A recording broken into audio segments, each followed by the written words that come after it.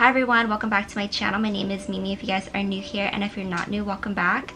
So today's video is a unboxing and I know I haven't done one of these in a while but I'm super excited to share with you guys today what I got and it's from Cartier. So I just want to say that this is a gift from my family so I'm super excited to share with you guys what I got and this was super unexpected but I literally have the best parents ever like I I'm literally over the moon right now. I don't want to talk too much and make this video super long because I know people just want to see the unboxing. So let's go ahead and get started. I do have a more like real unboxing on my Instagram if you guys want to check it out. Um, I'll link my Instagram down below and on the screen here for you guys. Here's the little stamped wrapped up. Here is the, oh, the receipt card here. Has like all the information in there. Here's the authenticity card. I opened it up to make sure everything was in order. So here's that. And that was like stamped with the little um, wax as well. And here is the box. Oh my gosh, I'm super excited. I don't want to put this on the ground because I feel like Callie's gonna try to crawl into it. But here is the box. Beautiful. When you open it, looks like this and it opens up right here. And this is my first bracelet from Cartier actually. I only own rings from them. Alright guys, so here's the box and you press a little button and it opens up. And this is my new bracelet. It's the Juste un Clou in yellow gold. I did get the small version and there's a whole reason behind that so I'll go ahead and talk about that for a second. So I wanted something that I was able to stack with um, and make it look a little bit more dainty so I tried on my best friend's Juste un Clou like a couple years ago and I knew like from then on like I do want to get the smaller version because it's just a little bit more daintier and it's just a lot like nicer to stack. I feel like the Juste un Clou when you get like the bigger one I feel like it's just so thick that like you kind of have to like wear it alone a little bit or you can't really wear it like stacked with multiple things. So that's why I went with the smaller version. There's like a little hook back here. So let me go ahead and pull that out. Let me go ahead and take this bracelet out for you guys to see. Alright, so here is the bracelet.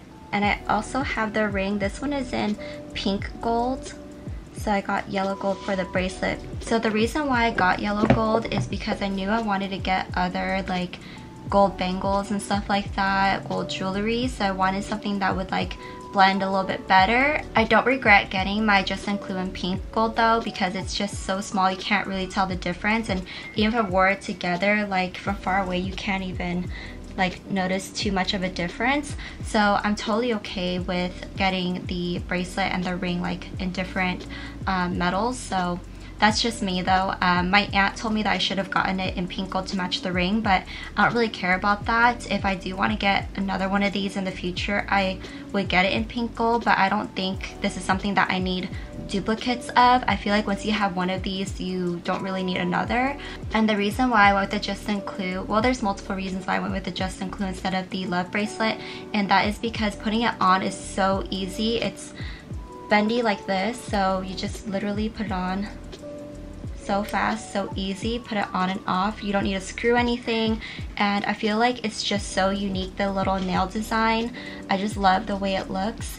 So the bracelet size that I got is T16 and they said this was the perfect size because it doesn't turn like this because they said if I went bigger it would like swivel around and that it gives enough room so that if I do stack it has you know room to move around to stack some more so I really like that oh my god I love it so much. This is like the prettiest bracelet. I love that it's like when you see it like you know it's Cartier. So the reason why I didn't get the love bracelet and I went with this one is because I feel like this one is so unique and the style is really different. And the love bracelet even though it's iconic to Cartier and it's really beautiful I feel like I'd rather take the money for that bracelet and then go get a bracelet that has diamonds in it that I can customize or something and wear it with this one rather than wearing another bracelet that has like no diamonds. It's just gold I just felt like this bracelet was better for my lifestyle because I don't want to be fussing with a bracelet having to screw it on and off. This one is so easy. You put it on and then you just take it off so fast, literally two seconds. And I really like that about this. And I heard the larger version, I don't know if they fixed it, but I heard that the um, bracelet comes off sometimes and people have like lost their bracelets or they've fallen. So I feel like this one's just really secure, but it's super easy to take on and off. So if you guys are interested in a bracelet that's not really fussy, but has a unique design, I feel like this one is the way to go for sure. And I'm super thankful. I literally have the best parents ever. Like I was not expecting this, especially since my mom has been passing down jewelry to me. And if you guys have been watching me for a while, you guys know that my mom has been giving me like pieces of jewelry every year, like from her personal collection, so I could start wearing it and enjoy it as well. So I wasn't expecting to get something um, that was a jewelry piece brand new because I was like totally happy with just getting like stuff from my mom because they're like you know they're special. They have like a lot of value in terms of like sentimental value. I actually didn't really have anything on my wish list this year for my birthday because i feel like with everything that i have i haven't been able to enjoy everything as much. But this is something that I can definitely wear a lot more than my bags uh, because I feel like when you wear a bag I don't want to change it out every day but on my days off I definitely can wear this and feel a bit more dressed up and just add to it. But I don't know if I will get the love bracelet. I have to see like how often I wear bracelets and I think this is a good like starting point for me because this is so easy to take on and off. And I can see from there like if I'm going to wear bracelets more often or if I want to go and um, get a bracelet made or something for my uncle's friends because my uncle used to work in that um, in that industry. So he has like connections still with like wholesale diamonds and stuff. So I'm really interested in that and I'm going to learn so much from my uncle. And I really want to see like more about that. And I don't know my uncle told me that this should be my last piece from Cartier and I should start investing my money into like solid gold pieces with diamonds and stuff like that from jewelers and if this is the last piece that I own from Cartier like I think I'd be so happy with that because this with any other bracelet stacked with it would look so good. I feel like jewelry is something that lasts so much longer than bags.